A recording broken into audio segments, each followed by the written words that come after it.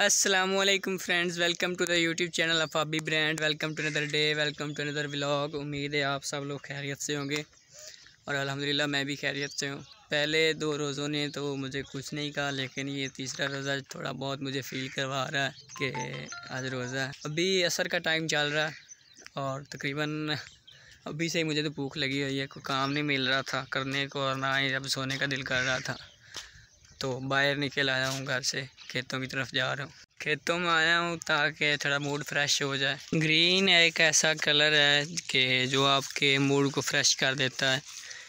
तो अभी इस तरह के माहौल में जब आप रह रहे हो तो किसी तरह की बोरियत फील करना तो बनता ही नहीं। इसलिए मैंने सोचा कि अगर घर में बैठा रहा तो बोरियत ही होनी है। बाहर निकल आया हूँ खेतों में। दो दिनों से लगातार बारिश चल रही थी तो मैं गंदम वाली साइड पे नहीं आया था, हमारी गंदम जिस तरफ़ है। अभी आया हूँ गंदम वाली साइड पे और जो देखा है देख कर हैरान हो गया हूँ। आपको दिखाता हूँ अभी। चेक कर रहे हैं जी, गंदम सारी गिरी पड़ी है। बारिश की वजह से बारिश आई और बाद में हवा चली तो गंदम सारी गिर गई है, काफ़ी सारी, तकरीबन एक डेढ़ एकड़ जो है ना गिरी पड़ी है। यही गंदम है जिससे आटा बनता है। और जिसकी आजकल बहुत ज़्यादा कमी है पाकिस्तान में, और इसका ये हाल हुआ पड़ा है, आप देख लें। अब इससे खुद ही हिसाब लगा लें कि इस चीज़ की कमी तो होनी है। अब ये जो गिरी पड़ी है अब काफ़ी इससे कोई ज़्यादा मतलब बीज नहीं बाहर आएँगे, दाने नहीं आने, ज़्यादा नुकसान ही हुआ है इसका। भाई दस से पंद्रह मिनट ठहरा हूँ खेतों में तो थोड़ा मूड फ्रेश हो चुका है। पहले तो सोच में ही नहीं आ रहा था कि क्या करूँ, अभी फारिग था।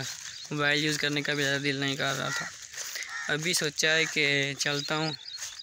गेंद बैट उठाते हैं। भाई के साथ गेम लगाता हूँ घर में ही। आपको भी दिखाता हूँ। गुलाब का फूल तोड़ने लगा हूँ कज़न्स का। सिर्फ़ खड़ा ही एक है पूरे दरख्त पर। वो मैंने तोड़ लिया। आपस की बात है, मुझे ये नहीं पता कि फूल किसी की खुशबू लेने से आपका रोज़ा तो नहीं टूटता। इसलिए अभी मैं पहले घर जाकर किसी भाई से पूछूँगा कि खुशबू लेने से रोज़ा तो नहीं टूटता। अगर नहीं टूटता तो उसके बाद खुशबू लूँगा। फूल मैंने तोड़ लिया। आज थोड़ा रोज़े ने तंग किया तो मुझे याद आ गया कि पिछले साल जब रोज़े रखे थे तो पिछले साल तो इतनी ज़्यादा गर्मी थी कि अभी तो असर का टाइम है तो मैं धूप में निकल आया हूँ, लेकिन पिछले साल जिस तरह की गर्मी थी तो धूप में निकला नहीं जाता था। पर अभी इतना ज़्यादा मतलब ऐसा कोई सीन नहीं है। बहुत ज़्यादा गर्मी नहीं पड़ रही, रोज़े आप इजीली गुजार सकते हो। लेकिन आज पता नहीं क्या हुआ है, मुझे मुझे बड़ा ना आज थोड़ा सा फील हो रहा है कि आज रोज़ाना अपने जोहर दिखा रहा है। खेतों से जब मैं वापस घर गया था तो सोचा कि जाकर खेलते हैं, पर पता चला कि बारिश की वजह से दादी जान की जो कब्र है उसमें एक होल हो गया। तो उसको मतलब ठीक करने कब्रिस्तान आ गए मुझे नहीं पता कि दिखाना चाहिए या नहीं, पर आपको थोड़ा बहुत व्यू दिखाता हूँ कब्रिस्तान।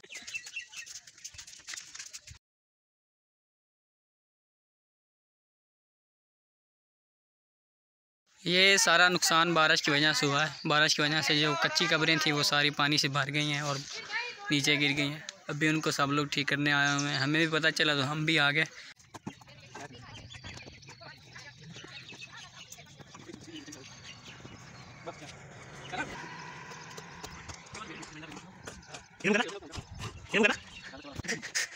चला यार रोजेदार तो की चीज़ हो? बेस बेस बेस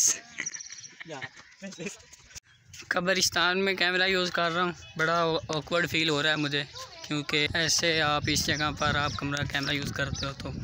मुझे तो नहीं लगता कि मतलब इतनी अच्छी बात है। और दूसरा ये है कि मैं थोड़ा कम लोगों में कैमरा निकालता हूँ क्योंकि यहाँ गाँव वगैरह में लोग कैमरे को ओवर समझते हैं कि आप ओवर हो गए तो इस वजह से जहाँ पर लोग कम होते हैं वहाँ पर मैं कैमरा निकालता हूँ। अभी घर पहुँच गया हूँ। कब्रिस्तान गए हुए थे तो उधर से वापस आ गया हूँ। अभी अफ्तारी में तकरीबन डेढ़ घंटा बाकी है। अभी सोचते हैं क्या करना है देखते हैं।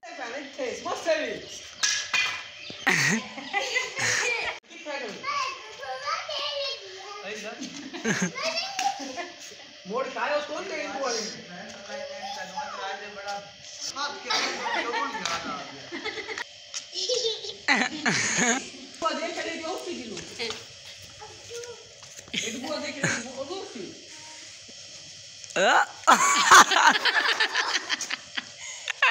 बड़ी मुश्किल से मैंने आज का रोज़ा गुजारा है। मैं आपको बता नहीं सकता कि आज क्या हालत हुई पड़ी है मेरी। अभी असर अफ्तारी का टाइम हो चुका है। अभी मैं रोज़ा अफ्तार करने लगा भूख मुझे बड़ी लगी हुई है। चेक करते हैं कि आज अफ्तारी में है क्या। आपको भी दिखाता हूँ।